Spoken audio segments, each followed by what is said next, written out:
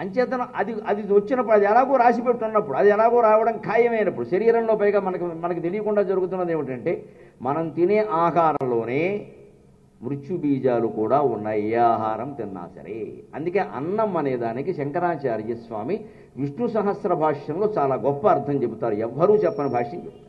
మేధాశక్తి అంటే ఆయనది. విష్ణు సహస్రంలో ఒక చోట అన్నం యజ్ఞాంతకృత్ అన్నం అన్నాదయేవచ అని వస్తుంది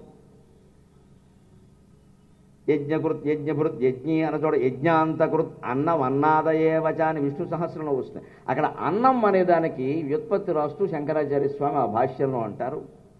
అత్తి అద్యతే ఇది అన్నం అంటారు అన్నానికి రెండు వ్యుత్పత్తులు ఇస్తారు. అది మన తింటోంది మనం దాన్ని తింటున్నాం అన్నారు ఇది అన్నానికి. మనకేం తెలుసు మనం తింటున్నాం అన్నం అంటారు అన్నం అద్యతే ఇది అన్నం. అన్నం తినబడుతోంది కాబట్టి అన్నం. అంతేకాదు అత్తి ఇది అన్నం. అది కూడా మన తింటుంది అది మన తినడం ఏమిటి?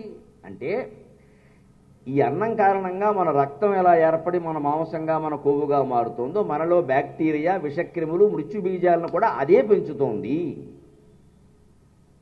అంచేత పెరుగుట విరుగుట కొరకే ధర తగ్గుట హెచ్చు కొరకే సరసము విరసము కొరకే పరిపూర్ణ సుఖంబులు అధిక బాధల కొరకే.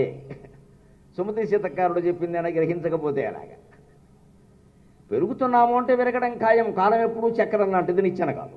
నిచ్చెన అయితే పైకి ఎక్కుతాడు. మళ్ళీ అదే మార్గంలో దిగుతాడు. అది కూడా ఒక రకం చక్రమనే చెప్పాలి. మనకు తెలియక మాట్లాడతాం కానీ నిచ్చెన అంటే పెద్ద నిచ్చెన ఎంత పెద్ద నిచ్చెనైనా మళ్ళీ చివరి మెట్టు ఉందా లేదా? చివరి మెట్టు నుంచి దిగాలంటే దూకితే చస్తాడు. మళ్ళీ అదే మెట్లు ప్రకారం కిందికి రావాలి. అంటే ఏమైంది? నిచ్చెన నిలువుగా ఉండే చక్రం. ఒక మాటలో చెప్పాలంటే మనం ఆలోచించలేదు కానీ. నిచ్చెన నిచ్చెన కాదండి నిచ్చెన నిలువుగా ఉండే చక్రం. నువ్వు ఎలా ఎక్కావో అలాగే కిందికి దిగుతుంటే నిచ్చెన మాత్రం చక్రం కాకేమైందండి నిచ్చెన మనం ఎక్కి మనం దిగాలి చక్రం మనం ఎక్కితే చాలు అది దింపుతుంది. మనం ఎక్కితే చాలు. అంటే కాలం నిచ్చెన కాదు. ఎందుకంటే మనిషికి మృత్యువు ఎంచుకోని అవకాశం ఇస్తే ఈ జన్మకి ఎంచుకోడు. వాడు దిగడం. నిచ్చెన ఎక్కిన వాడిని దింపాలంటే వాడంతట వాడు దిగడు. నాకు ఇంకా పని ఉందంటాడు ఎవరన్నా కుర్రాన్ని సరదాగా వాటర్ ట్యాంకులో ఏదో పురుగు పడింది చూడరా అని ఎక్కించామనుకోండి వాడికి సరదాగా ఉండి ఈత కొడతాడు నిచ్చెన దగ్గర నిచ్చెన తీసే నాన్న అంటాడు. కాసేపు ఆడుకుందామని ఎందుకంటే మళ్ళీ ఎక్కిన వరగా అది చక్రం అనుకోండి. వాడు దిగేది ఏమిటి? చక్రం ఎలా తిరుగుతుంది. చచ్చినట్టు దిక్క తప్పదు. అంచేత భగవంతుడు కాలాన్ని చక్రంగా నిర్మాణం చేశాడు నిచ్చెనగా చేరు నిచ్చెన అయితే కూడా చక్రమే. అది కిందికి దిగాల్సిందే. కానీ వాడు దిగాలి. వాడు దిగమంటే దిగడు.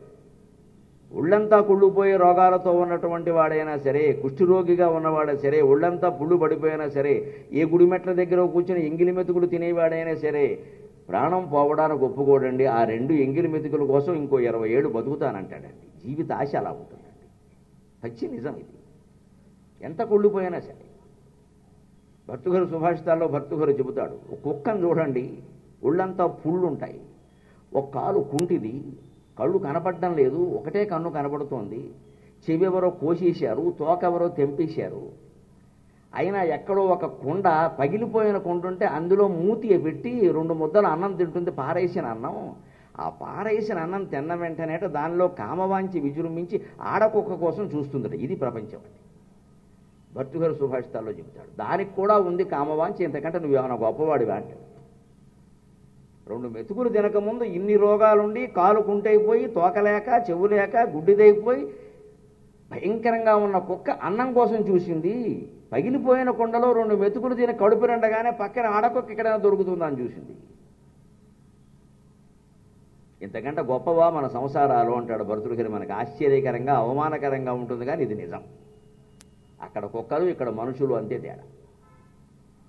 దీనికో కొంత మనం తోడు నిగడా దూడా బేడా అని వ్యాఖ్యానాలు చేయక్కల ఉన్న విషయం అంతే. ఈ వంచల కోసమే ఇవన్నీ జరిగాయి. అది ధర్మంగా జరగడానికి వివాహ వ్యవస్థ ఏర్పాటు